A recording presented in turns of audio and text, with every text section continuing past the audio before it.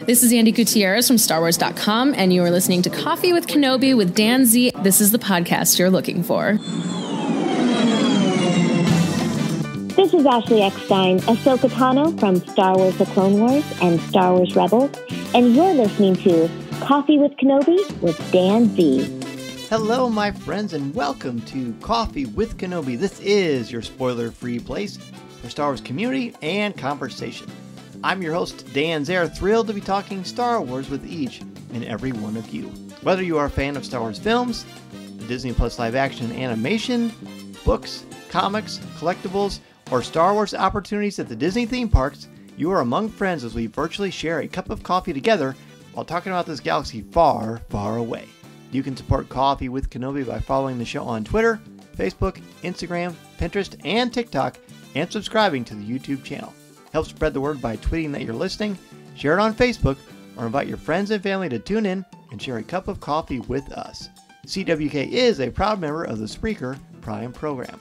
Thank you to the official travel partner of Coffee with Kenobi, MEI and Mouse Fan Travel. If you are interested in a no cost, no obligation quote for your next vacation, check out coffeewithkenobi.com slash mousefantravel and let them know Coffee with Kenobi and Dan Zehr sent you. Thank you also to members of the CWK Alliance. Find out how you can join the Alliance for as little as $1 a month and get access to exclusive podcasts, videos, and much more at coffeewithkenobi.com slash CWK Alliance. On today's show, we have a special treat for you. New York Times bestselling author Sam Maggs is here to talk about the brand new book, Star Wars Jedi Battle Scars. And if you're going to Star Wars Celebration London in a couple of weeks, you can see me live on the podcast stage. It is Friday, April 7th from 4 o'clock to 5 o'clock p.m. on the HoloNet News stage in room 14. I hope to see you all there as we will be talking live with New York Times bestselling author Adam Christopher. So pull up a chair, grab your favorite coffee mug, and let's have some coffee with Kenobi. Joining us today for a cup of coffee is best-selling author Sam Maggs to talk about the brand new Star Wars book, Star Wars Jedi Battle Scars. Sam, welcome to Coffee with Kenobi. Oh, thanks so much for having me. I'm excited to be here. Yes, we're we're very excited to chat with you. Uh, the new book is spectacular. Oh, so much good buzz about it already. Oh my, absolutely, my pleasure. And I just wanted to ask you a couple of things. First, uh, when when did you when did your appreciation for Star Wars first happen? And what is it about the mythology that continues to inspire? Oh, yeah, I was sort of born into the fandom. My parents actually went to see A New Hope back in the 70s in the theaters 22 times. Wow. um, I was just talking about this with them last night, and they said they went on opening day to see Empire, and they went like hours early because they thought there was going to be a huge line. There was no line, there was nobody else in the theater, and then they stayed and watched it a second time. right Oh, after it ended. so anyway, parents, big dorks, very into Star Wars, uh, and I guess instead of rebelling and getting into sports or something, I just kind of went with it. um, and I've I've always loved it. I think there's so much potential in the mythology and in the universe. Like it's such a vast and incredibly rich world for mining for stories the you know setup of the light versus dark is so universal but there's so much nuance in it with star wars and i think that that is what is most interesting to me to explore.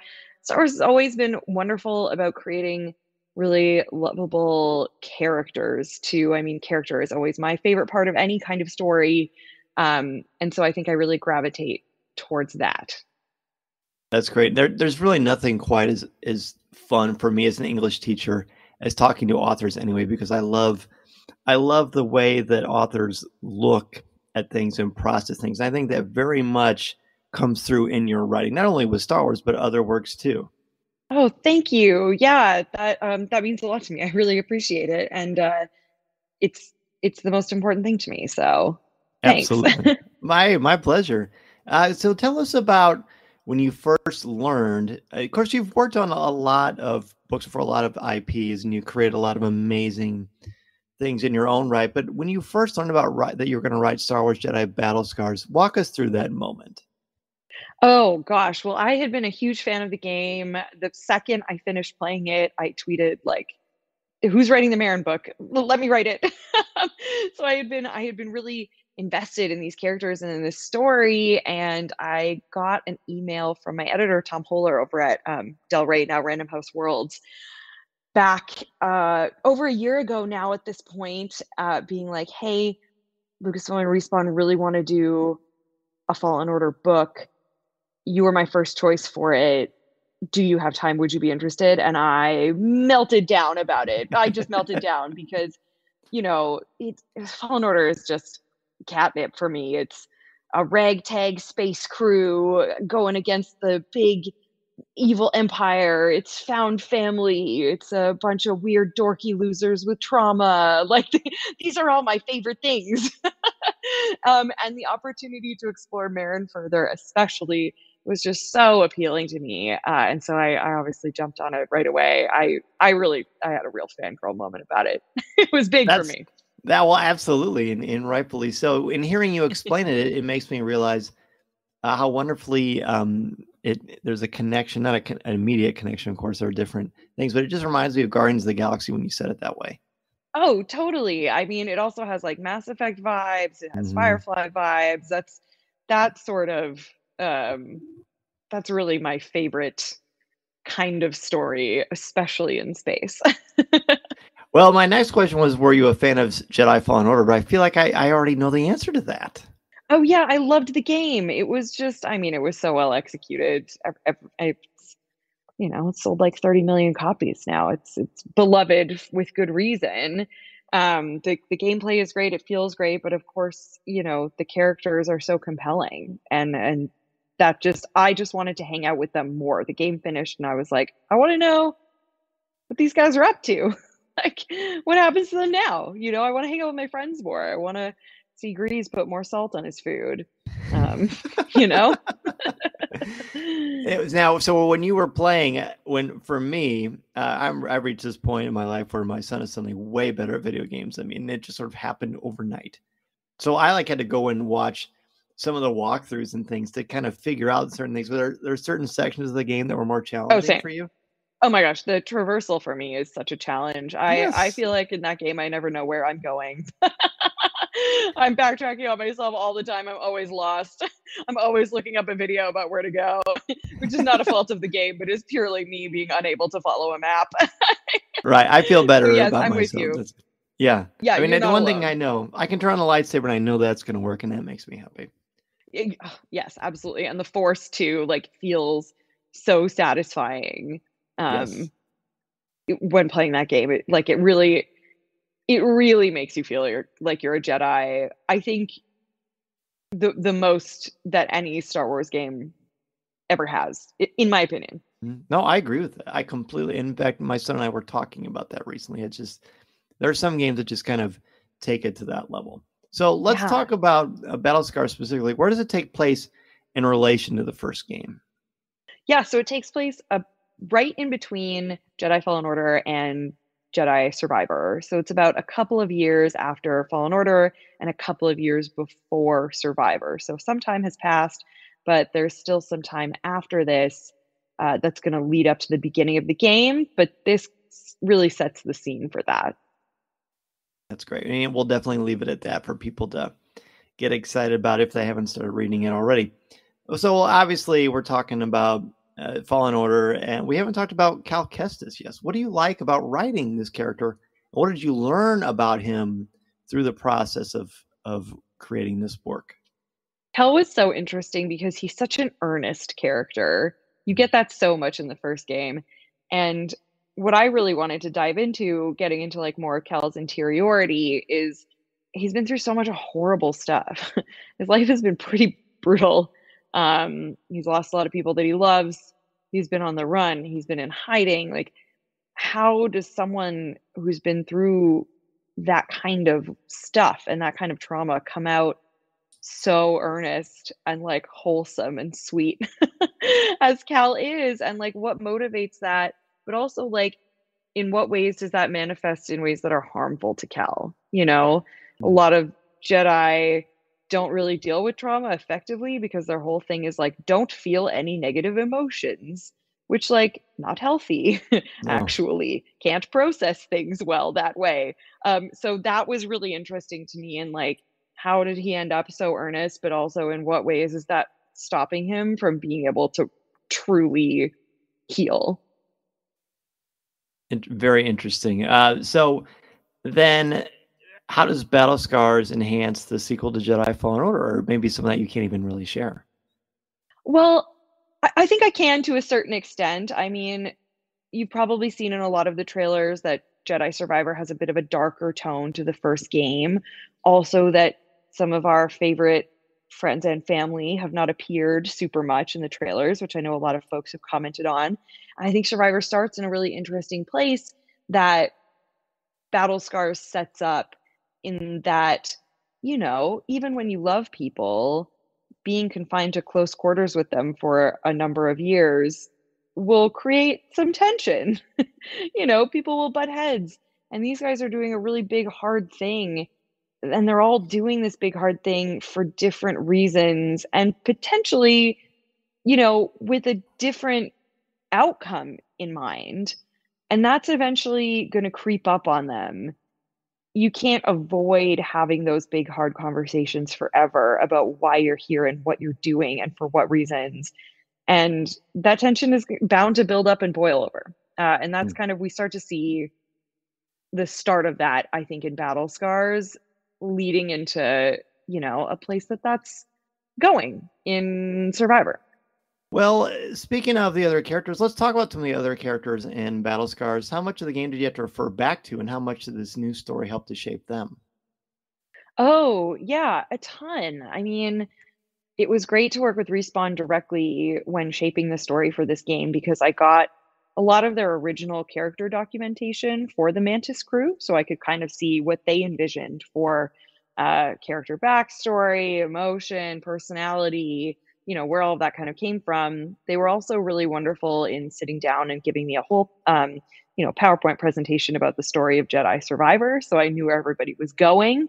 I knew I knew what that story was going to be, and then they also provided me with a one sheet um, of what they really wanted me to touch on in Battle Scars, particularly. So you know, um, particular story points that needed to be hit on before Survivor, um, as well as certain character details. I think the biggest one would probably be Merrin's pansexuality. That was something that Respawn had um, sort of established in the first game through dialogue. Mm. Hard to really do that. Um, a video game doesn't often give the space uh, for that, especially with a, a secondary character uh, to kind of establish that in a way that doesn't feel clunky, you sure. know.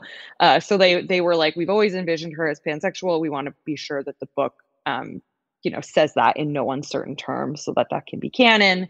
Uh, so there were a lot of things like that. So i had a lot of help from lucasfilm and the respawn team along the way in terms of uh, the broader points of where it had been going what the story needed to do and where it needed to lead to which was really helpful.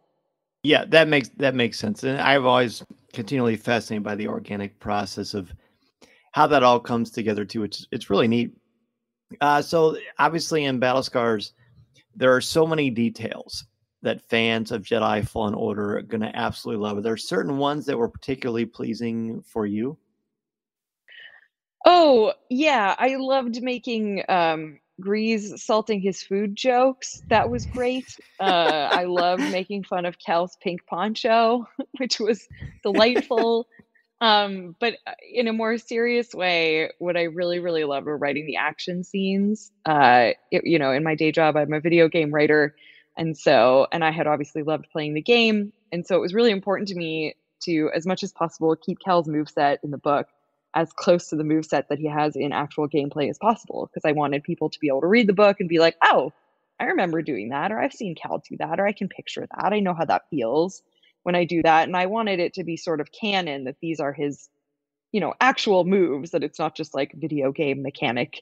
Um, so that was really, really fun. I always had YouTube videos on of Cal's moves um, and of, you know, Haxion Brood's move set and armor and weaponry and uh, making sure that they matched up as close to one to one as possible was was really fun. I, and I think like I think it makes it feel as much like the game as as I could. And I gotta say that that that again, you know, putting on my day hat of a of a teacher of writing and mythology, that was one of the most impressive things to me because describing to me when I describe a music, it's hard for me to do that because I don't think musically. But I've played Yeah. video games. Now you've taken it to another level because you're writing and creating these, you play them, and you're a great writer. So what a what a wonderful meta opportunity to just kind of find out how you plot those things out because that's not easy. That's exactly how I felt about it, to be honest. Um, it was a cool exercise in describing the things that I, I take for granted in games Mhm. often. Um, I think I was able to use a lot of the language that we do use when working with designers, um, or that designers use when talking to writers, which was cool. But it was, you know, I don't get to do that a lot. So it was really fun. I think it was probably one of the reasons, or one of the reasons, excuse me, that um, they had initially approached me on this book also you know Yes. uh so I, I think that was really neat it was cool Oh, I bet. I bet it was a great uh, process. I, I have no doubt. So this is actually a perfect little segue. Uh, I was going to ask you, what advice do you have for aspiring writers? My advice is always the same. You need to write something and you need to finish it and then you need to move on and write something else Mm. and then finish it. The only way that people are ever going to get an idea of your voice your tone what kind of stories you like to tell what you're bringing to the table is to be able to show people something that's finished. Um, a lot of the time people say i want to be a writer i want to be a writer but they can never kind of get past that hump of writing something and finishing it and having that thing to show people whether it be a short story you can put online whether it be um, an opinion piece that you can shop around to uh, websites that are looking for submissions uh, you know whether that be a twine game that you build yourself um, you know any anything that you can finish and show people is super necessary. You cut you need to build yourself a bit of a portfolio you know in order to show that to folks Listening to Coffee with Kenobi, you are. With Dan Z, the podcast you're looking for. This is.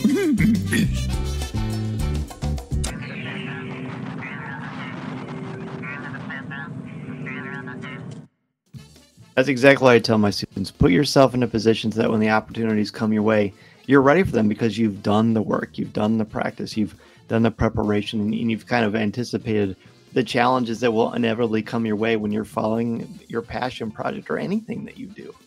I really love that because I I feel that this business is, you know, part hard work and part luck. And Mhm. you know, you have to have done the hard work to your point so that you can be ready for when the lucky thing comes to you.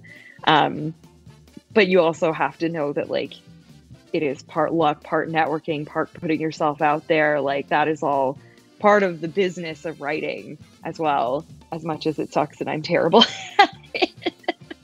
but um, unfortunately true. And I absolutely, I totally agree with you. So now uh, I guess I want to ask you, uh, what new projects do you have in the works that you're able to talk about? Oh yeah, I'm working on a bunch of stuff right now that is currently unannounced, but I do have I do have a story in an anthology that comes out next month called First Year Orientation, which is a series of short stories by uh, you know popular YA writers about students in their first year of college in the dorms. So I have a fun I have a fun story in that. I also have an original graphic novel called Tell No Tales Pirates of the Southern Seas that you can pick up now um, that we are going to be starting to work on a sequel for. So you can grab that. Um, but otherwise, pick up Star Wars Jedi Battle Scars, available from fine booksellers everywhere uh, right now. That's right. Anywhere you purchase your books online, you will be able to find it. Well, Sam, thank you so very much Thank for you being a so guest much, on Coffee Dan. with Kenobi. Yeah, it was an was absolute pleasure to talk to you. Yeah, and I like Such a blast. Yeah, I like I love, of course, the Star Wars aspect is certainly up Coffee with Kenobi's alley. But again, as a teacher and and someone who tries to ki- teach kids writing, I always like hearing other professional writers' perspectives. So thank you for sharing them. Thank you for what you do. It's it, that's huge and uh, incredible. Yeah, Oh, my to be here. pleasure. Well, thank you so much. Uh, and real quickly, uh, if, do you have a social media presence where people can reach out to you just to say hello or, or thank you for this great book? Oh, totally. You can find me on Twitter and Instagram. It's just my name, S A M M A G G S, or on TikTok over at Sam Writes a Lot. And I would, I'm always happy to chat. Thank you so much to Sam for joining us on Coffee with Kenobi. Again, be sure to purchase Star Wars Jedi Battle Scars wherever books are sold. There's also a great audiobook version as well. I want to thank everybody for listening, and I also want to thank the official travel partner of Coffee with Kenobi MEI and Mouse Fan Travel.